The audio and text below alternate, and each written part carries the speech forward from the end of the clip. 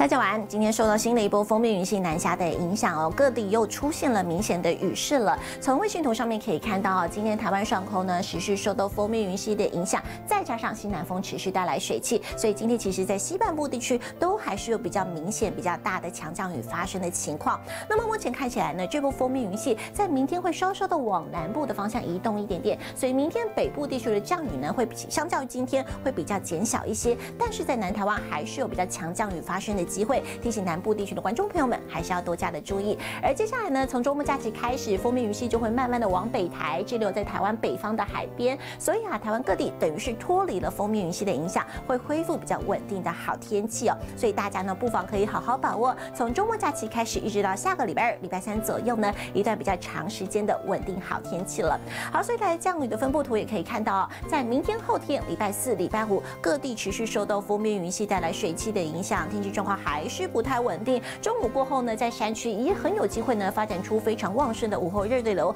导致呢会有比较强的午后雷阵雨发生。提醒大家还是要多加的注意，外出还是要记得携带雨具。而刚刚提过了，到了周末假期，礼拜六、礼拜天开始呢，封面移到台湾的北方上空了。台湾各地脱离封面云系的影响，会回到一个比较典型夏季型的天气形态，就是白天呢非常高温、晴朗、炎热。中午过后，局部地区会有一些午后雷阵雨的天气状况。好，再来看一下温度的。变化刚刚提过了，在这两天呢，其实受到封面雨系的影响哦，有降雨，所以各地感觉还是比较偏凉一些的。但是呢，从礼拜五、礼拜六天气逐渐回稳之后，各地的高温呢，渴望逐渐回升到三十度以上，甚至到了下个星期还有机会来到三十三度、三十四度左右的高温。中南部地区也是哦，接下来这一周呢，气温会逐渐的往回升，到了下个星期就会回到比较炎热的天气状况。提醒大家呢，外出就要记得多补充水分了。